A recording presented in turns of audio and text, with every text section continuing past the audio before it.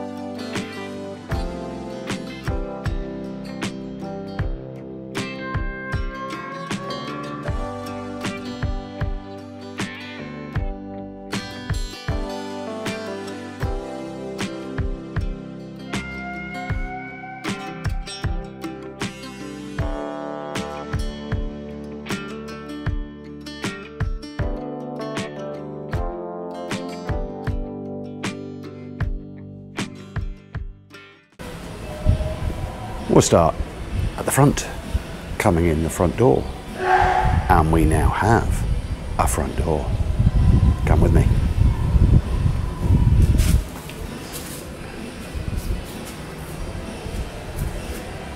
It is clearly still not finished, but it's in, it's ready to be finished.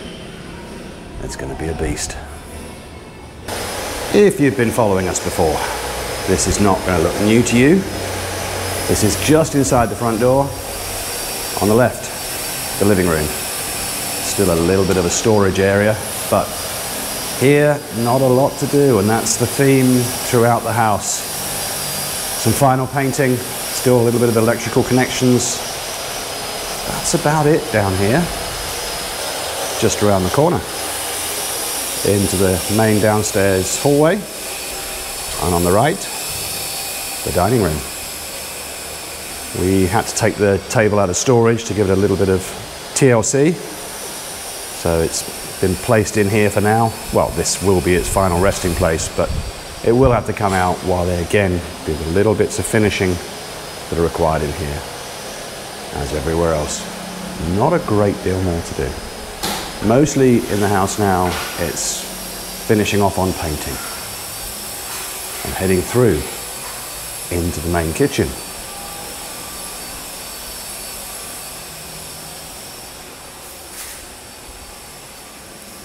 Starting to look like a finished kitchen. Cabinetry mostly finished, there's some touching up still to be done.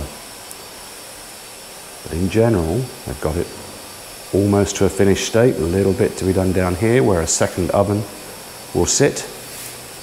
And now, our kitchen island has its breakfast bar.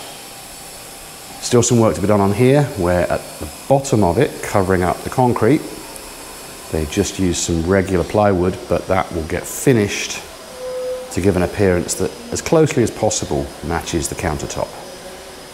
And at the back of the kitchen, the pantry, ready to go, with the exception of a few more outlet covers.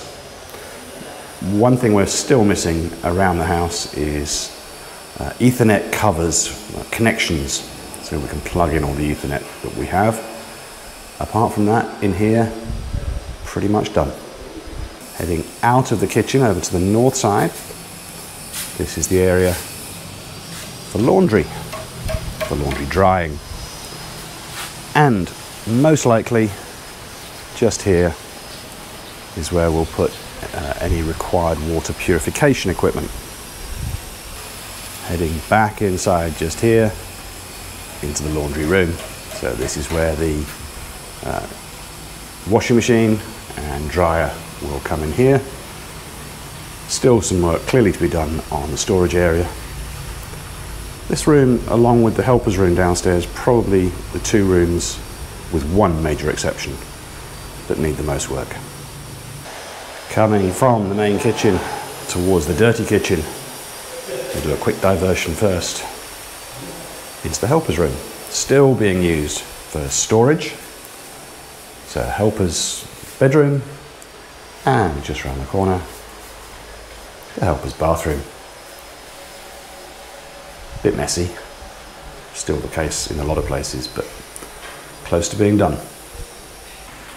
And then in, into what we're calling the dirty kitchen, a little less like most traditional dirty kitchens because it's inside. So kitchen number two really. Cabinets almost all finished. A little bit of work still to be done on edgings. Then over there is where the cooker will go. And on this side, there'll be a refrigerator. Not sure if there'll be anything else just here. And we may try and put a kitchen island in here. We bought one with us from Hong Kong. I'm not sure if it's going to make this room too crowded, but we'll give it a try and see how it feels. The rest of this room, again, close to finished. Heading out of the dirty kitchen. Ahead of us is the gym and spa.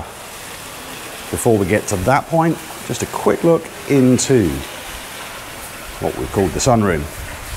So this is the room that we wanted to be, uh, have a feeling of, a, of being inside outside as closely as possible.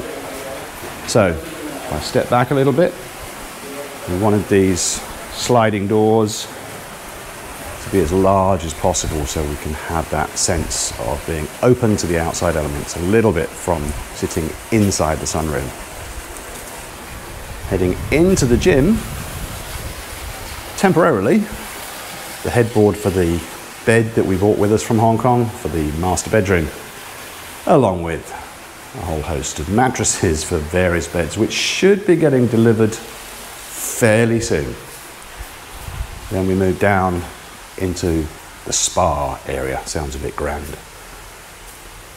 And over here, a jacuzzi. That'll probably take a week or so to fill up when we want to use it, but never mind. And just for convenience, Another small bathroom, sorry, rather dark in here. Hopefully the camera adjusts. Small bathroom here with a shower, toilet and wash basin. And here's the room that is not going to be finished when we move in. The home theatre room. Very little has actually been finished in here. At the back of the room is where all of the electrical connections come in and then get distributed around the house. But inside this room, at the moment, all we've got is the riser, the platform, so that we can have two sets of seats. Uh, this one elevated, as it would be in any cinema. We have a little bit of the insulation, the rockwool on the walls, but only a small amount of the walls have been covered, and we still have yet to have the speaker wires connected or installed. And over there is where the screen eventually one day will be. Time to head upstairs. And the stairs themselves still got quite a bit of finishing left to be done. You'll see in a moment that the upper side of the stairs has been finished to a greater degree, but still quite a bit of work to be done just here. Heading up from the small platform where the stairs take a turn, you'll see the surface finish on those steps, that's the colour they will end up being. They're not quite finished yet, And obviously, we still don't have the glass banisters going up the stairs. Not sure yet when the glass is going to be delivered and installed. From the top of the stairs, looking along the corridor, where all of the bedrooms are located, with the exception of the master, which is round, tucked away to our right. That's where we'll go first. Before we head into the master bedroom, this is looking out over the front door and the big window and across the peacock feather type lighting that we've got just there, the chandelier. Speaking of chandeliers, this is the chandelier above the stairs, which after quite a lot of adjustment, this is the setup that we like. Uh, the heights of each of those lights gives it quite a nice feeling, I think, now of top to bottom depth. So, into the master bedroom. Still a mess of wiring uh, over here where Ethernet and all the CCTV connections come in. The cabinets, which we have in every room, are now close to being finished for the outside surfaces. There will be doors on the front of these cabinets though. Come back to the balcony in just a second. The bed will be over here. And on this side, we'll have a desk so I can do a little bit of work in here. And heading from the bedroom into the walk-in closet where we no longer have just plain white shelves and cabinets. Again, we've got this manually created grain appearance which they're doing on a lot of these cabinets and a lot of the other areas around the room, a lot of the doors around the house have got a similar grain appearance. So cabinets in here, as in all the rooms now, are all in. It's just a matter of being finished, which still has quite a bit of work to do. And we've got all of this space, again, still to be finished off with final paint and from the walk-in closet into the bathroom. No shower glass yet, that's true in all the rooms. But at this end, the shower, double wash basin cabinet, Wabaka. And around on this side, we have toilets. So, once again, still some electrical work to be done. Most of the other surfaces in this room are finished. Still some final paint to be done on the ceiling. Going from the master bedroom out onto the balcony, where the view at the moment is mostly this big mango tree. But we will be cutting that back a little bit to reveal a little bit more of the view of Mount Arayat over there. On this side, looking across into the subdivision of Amelia Homes. And if you haven't taken two or three already, take another dizzy pill. Back round this way. Over the front door, towards the carport. And on the other side, uh, rice fields. But we do think that that is going to get developed and it looks like for the first time they're starting to do a little bit of development work over at the front of that property into the first of the other bedrooms. This is Alex's room, done generally speaking in a great in variations on grey. As in all the rooms, we've got this feature wall, which they've done in mostly the same colour in most of the rooms because that fits in the master bedroom it was done in a brown colour because that's more appropriate for the colouring in that room and round into the walk-in closet for Alex's room, where, as everywhere else, the cabinets are in. Still quite a little bit more of finishing on the surfaces of these cabinets. And into the bathroom. Shower at this end. Wash basin with cabinet and toilet at this end. on the opposite side of the corridor into Aldrian's room. There is still one development to be done in here where this part of this wall will be painted uh, as a feature wall. Slightly different, so it'll just stand out a little bit. This is one of the TV cabinets with the doors already attached and painted. And into the walk-in closet of this room.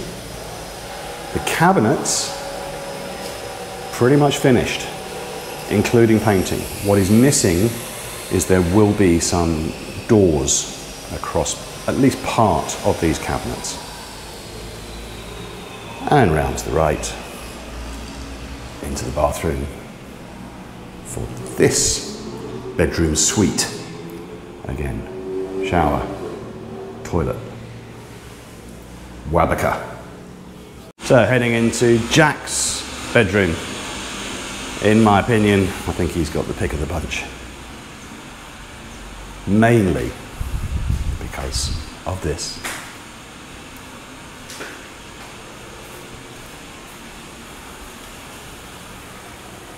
Not a bad view to wake up to and come and sit out here with a fruit juice or a coffee.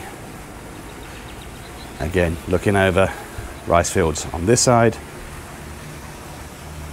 But the biggest winner of this view is the pool. And across to the gazebo and over to the back of the property. And all the way around. Again, back to the Amelia Homes subdivision.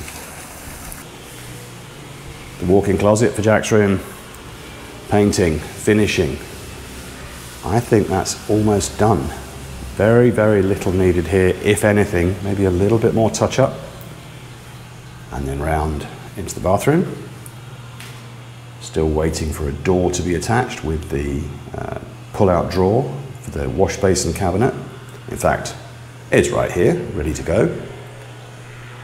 But the rest of the room, again, with the exception of maybe a little bit of touch-up paint on the ceiling, is done. And coming out of Jack's room into Sabrina's room. The one bedroom that doesn't have a walk-in closet.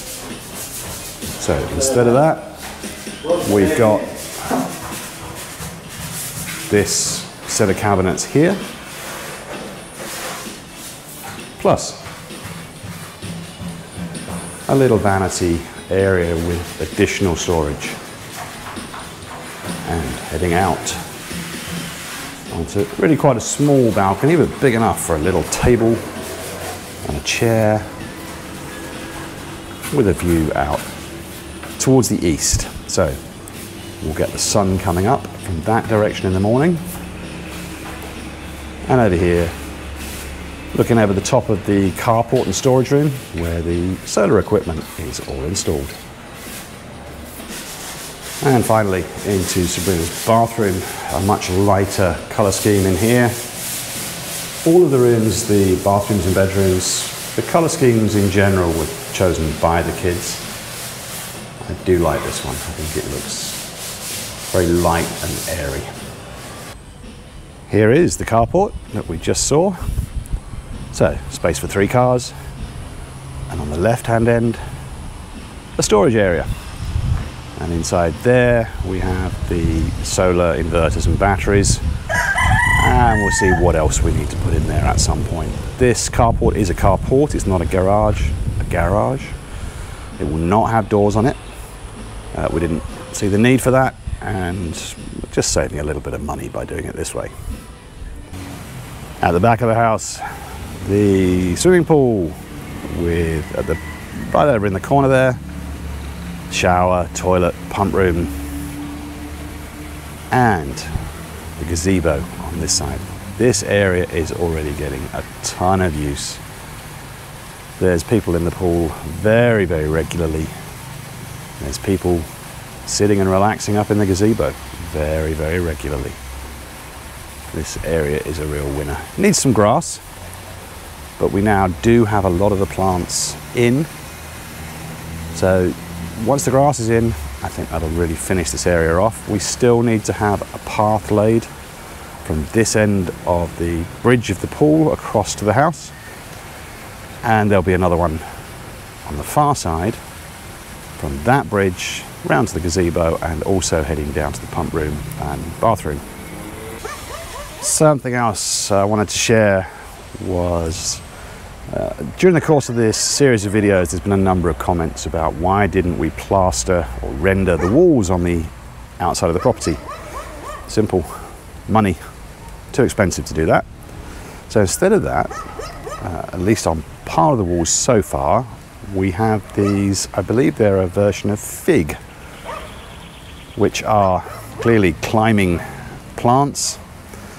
These plants probably have been here for, uh, in, in these cases, about four months, maybe five, and they are really starting to take off.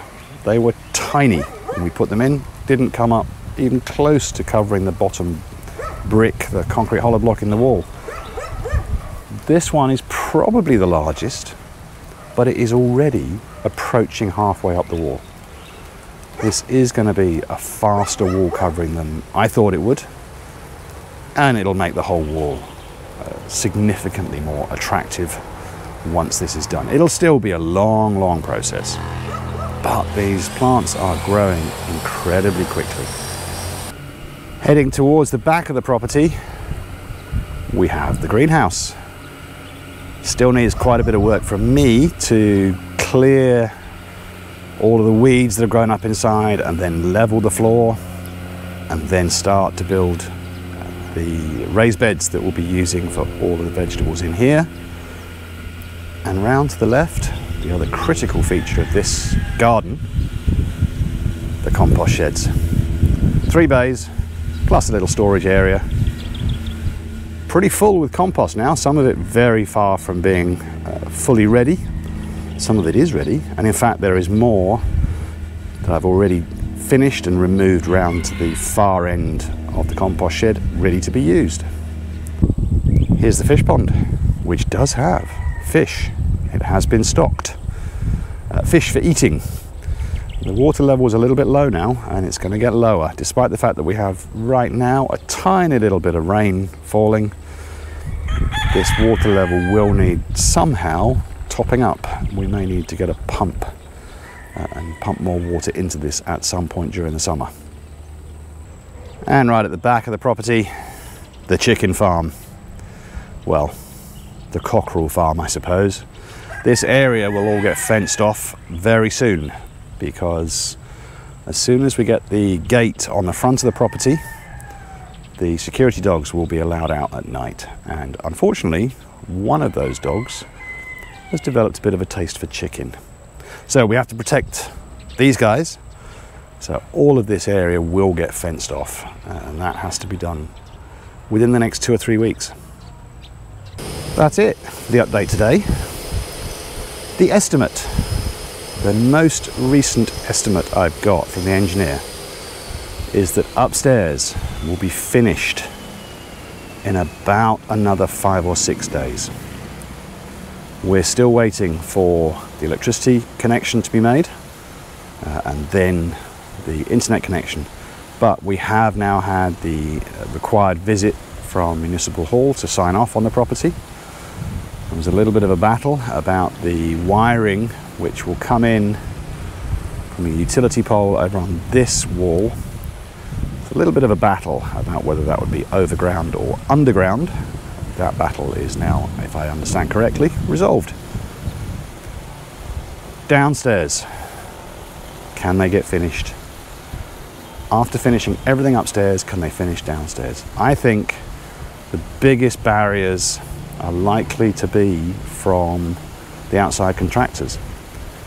Can we get the modular kitchen finished? Can we get all the glass that we require to be in? I think there's not a lot to be done in some of these other rooms downstairs. Uh, as long as we ignore the home theatre room, which we just close the door and forget about for a while, inside, I think there's a good chance. Of course, outside, lots and lots still to be done. We need the front gate, we need the driveway, we need a lot more painting still to be done on the outside. But I think we're close. Uh, electrical stuff still needs some work. All of the Ethernet connections need terminating uh, connections. But that shouldn't be a huge task. There's a lot of it, but it shouldn't be a huge task. What do you guys think? Can we be in in 13 days? Let me know in the comments.